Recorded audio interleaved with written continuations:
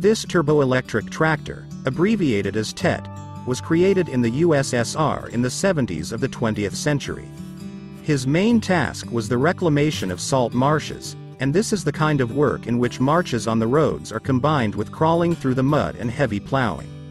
That is, you need both tracks and wheels. Therefore, the designers made lowered caterpillar trolleys perpendicular to the wheels. On wheels, he could drive to the place of work, lower the tracks, turn the tractor driver's seat 90 degrees and work in the field.